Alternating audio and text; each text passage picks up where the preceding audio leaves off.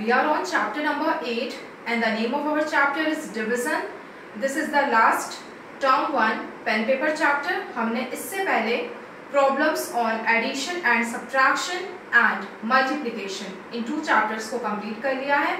This is our term 1 last pen paper chapter. ठीक है इसे हमने अपने प्रीवियस लाइव सेशन में स्टार्ट किया है इन आवर लाइव सेशन हमने इसके इंट्रोडक्शन को भी देखा और एक्सरसाइज को सॉल्व किया so today let's do a quick recap कि इसका इंट्रोडक्शन क्या है? Division means division is also known as equal sharing बराबर भागों में किसी भी चीज़ को बांटना, वो डिवीज़न के अंतर्गत हम करते हैं, ठीक है? Division is also known as equal sharing and division is also known as repeated subtraction multiplication is repeated addition and division is repeated subtraction division के भी कुछ टर्म्स होते हैं. There are three terms in division 18 divided by 3 we get 6 जब हमने 18 को 3 से divide किया तो हमें आंसर 6 मिला। जिस नंबर को आप डिवाइड करते हो the number to be divided is known as dividend 18 is known as dividend dividend क्या है? 18 क्लियर जिस नंबर में हमें डिवीज़न का प्रोसेस करना होता है, वो डिविडेंड होता है। जिस नंबर से हम डिवाइड करते हैं is known as division three is a division and जो हमें डिविजन के बाद रिज़ल्ट मिलता है आंसर मिलता है, हम उसे क्या कहते हैं? Quotient so six is a quotient clear division के टर्म्स कौन कौन से हैं? Dividend divisor quotient you have to learn it ये आपको टर्म्स भी ध्यान रखने हैं। और हमने अपने प्रीवियस सेशन में division by using repeated subtraction method इसे सॉल्व किया डिस्कस किया।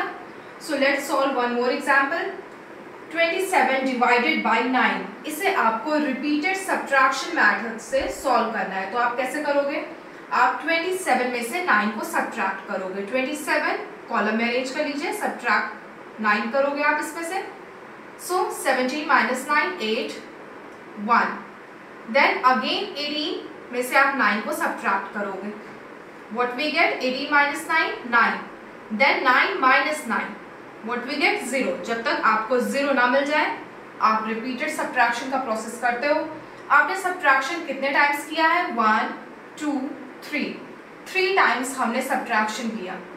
नाइन के टेबल में हमें ट्वेंटी सेवन कितने टाइम्स में मिलता है? नाइन थ्री ज़ा twenty seven clear so both the answers are same आप उतने ही बार सब्ट्रैक्शन के प्रोसेस को करोगे, जितने टाइम्स में नाइन के टेबल में आपको ट्वेंटी सेवन मिलता है। इस तरीके से हम रिपीटेड सब्ट्रैक्शन के क्वेश्चन को सॉल्व कर रहे थे। So today we are going to discuss relation between multiplication and division book students, open page number 118 there is exercise number 26 exercise 25 we already completed. So, exercise 26 किस पे based है? Relation between multiplication and division हमने पढ़ा था multiplication is known as repeated addition and division is known as repeated subtraction multiplication और division एक दूसरे के विपरीत होते हैं अपोजिट होते हैं। और हम क्या कह सकते हैं इन अदर वर्ड्स मल्टीप्लीकेशन और डिविजन एक दूसरे के इनवर्स होते हैं ओके इनवर्स मीन्स अपोजिट या विपरीत। क्लियर तो जब भी आपको मल्टीप्लीकेशन फैक्ट या डिविजन फैक्ट पूछा जाएगा तो आप क्या करोगे? आपके एक्सरसाइज में क्वेश्चन की हेडिंग है first write two division facts आपको दो डिविजन फैक्ट्स लिखना है। और किस फॉर्म में क्वेश्चन गिवन है? क्वेश्चन में मल्टीप्लीकेशन फैक्ट्स गिवन है। इट मींस जो क्वेश्चन है, उसमें मल्टीप्लीकेशन का साइन यूज़ किया गया है। आपको इसके टू डिविजन फैक्ट्स लिखने हैं तो डिविजन फैक्ट में आप डिविजन का साइन यूज़ करेंगे। बहुत केयरफुल रहना है, यहाँ आपको मिस्टेक नहीं करना है। मल्टीप्लीकेशन का साइन ये होता है this and division sign is this जब मल्टीप्लीकेशन का फैक्ट गिवन है, आप डिविजन फैक्ट लिखोगे तो डिविजन साइन आप यूज़ करेंगे। Clear so according to question कोई भी जब मल्टीप्लीकेशन फैक्ट हमें गिवन होगा, हम उसके दो डिविजन फैक्ट लिख सकते हैं। और डिविजन फैक्ट से भी हम दो मल्टीप्लीकेशन फैक्ट लिख सकते हैं। कैसे लिखेंगे?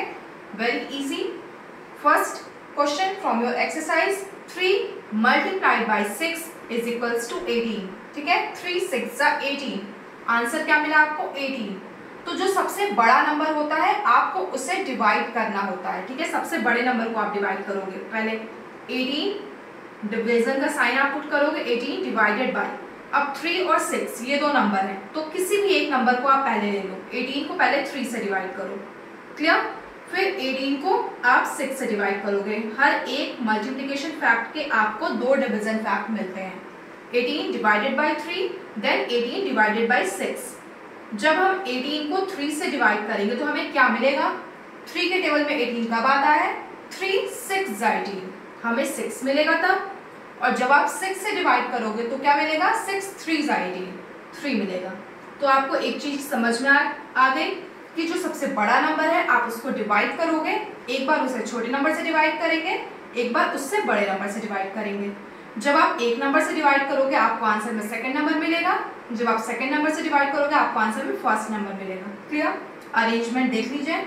आपको डिविजन का साइन यूज़ करना है इक्वल टू पुट करना है। और इस तरह से सॉल्व करना है। Question number eleven seven multiplied by eight is equals to fifty six seven eight ज़ा फिफ्टी सिक्स और एट सेवन ज़ा भी फिफ्टी सिक्स होता है। हमने मल्टीप्लिकेशन में ऑर्डर प्रॉपर्टी पढ़ी थी। ठीक है? तो हम सबसे बड़े नंबर को डिवाइड करेंगे। फिफ्टी सिक्स को डिवाइड करिए आप। सबसे पहले किससे करेंगे? सेवन से। फिर फिफ्टी सिक्स को अगेन हम डिवाइड करेंगे किससे? एट से। आप एक फैक्ट लिख के नहीं छोड़ेंगे, आपको टू फैक्ट्स लिखने हैं। जब आप सेवन से डिवाइड करोगे तो सेवन के टेबल में फिफ्टी सिक्स कब आता है? सेवन एट सा फिफ्टी सिक्स और जब आप एट से डिवाइड करोगे एट के टेबल फिफ्टी सिक्स कब आएगा? सेवन टाइम्स में एट सेवन ज़ा फिफ्टी सिक्स क्लियर डिविजन का साइन हमने पुट किया इक्वल टू लिखा और अरेंज कर दिया. इसी तरह एक और लास्ट क्वेश्चन हम देखते हैं. One multiplied by eight is equals to eight किसी भी नंबर में जब आप वन से मल्टीप्लीकेशन करोगे, आपको आंसर में वो नंबर एट मिलेगा. तो यहाँ पे एट ही सबसे बड़ा नंबर है. आप एट को डिवाइड करिए, ठीक है? इक्वल टू के बाद जो आपको आंसर मिलता है प्रोडक्ट आपको उसमें डिवीज़न का प्रोसेस करना है। एट डिवाइडेड बाई सबसे पहले एट को वन से डिवाइड कर लो, फिर एट को आप एट से ही डिवाइड करेंगे because second number is eight eight divided by one then eight divided by eight जब आप वन से डिवाइड करेंगे तो आपको क्या मिलेगा? एट मिलेगा। और जब आप इसे एट से डिवाइड करेंगे एट के टेबल में एट कितने टाइम्स मिलता है? वन टाइम में। तो आपको वन मिलेगा। क्लियर सो so, जब भी आप डिवीज़न फैक्ट लिखोगे आप डिवीज़न का साइन यूज़ करोगे। हम डिवीज़न कैसे करते हैं आपको पता है? जिस नंबर को हम डिवाइड करते हैं जिस नंबर से डिवाइड करते हैं। उसके टेबल में फ़र्स्ट नंबर कितने टाइम्स में आ रहा है उसे हम लिखते हैं। जो आंसर होता है वो क्वेश्चन होता है। जिस नंबर को आप डिवाइड करते हो वो डिविडेंड होता है। और जिस नंबर से डिवाइड करते हैं वो डिविजर होता है। Clear now come on next question अब हम मल्टीप्लीकेशन फैक्ट्स लिखेंगे। जो डिवीज़न फैक्ट्स गिवन है उनके। Students next heading is write two multiplication facts of the given division facts अब डिवीज़न फैक्ट गिवन है। डिवीज़न का साइन क्वेश्चन में है। आपको मल्टीप्लिकेशन फैक्ट लिखने हैं। मल्टीप्लिकेशन का साइन यूज़ करके। ठीक है? आप एक डिवीज़न फैक्ट से दो मल्टीप्लिकेशन फैक्ट्स लिख सकते हैं।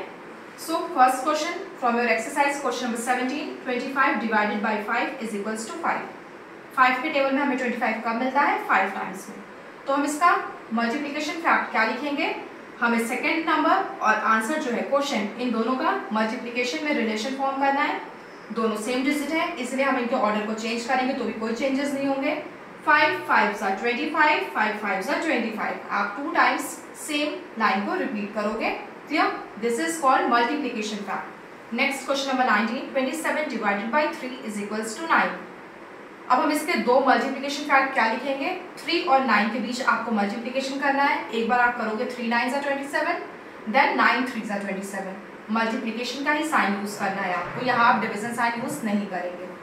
Next nine divided by nine is equals to one हम इसका पहला लिखेंगे मल्टीप्लीकेशन फैक्ट नाइन वन ज़ा nine second is one nine ज़ा नाइन किसी भी नंबर में जब आप वन से मल्टीप्लीकेशन करोगे या वन में किसी भी नंबर से मल्टीप्लीकेशन करोगे, आपको रिज़ल्ट में वही नंबर मिलेगा। Okay uh, students it's time for your classwork and homework today's classwork is do given sums of exercise 26 in homework copy yes आप classwork में homework copy में sums को solve करेंगे date exercise number mention करके जो question मैंने दिए हैं उन questions को properly question number two six twelve question number eighteen twenty twenty two total six questions आपको solve करने हैं okay this is your classwork in homework copy and your homework is do the given work in maths classwork copy from the given notes जो मैं notes पे date लिखेंगे chapter number chapter name and then start your work neat and clean that's all for today thank you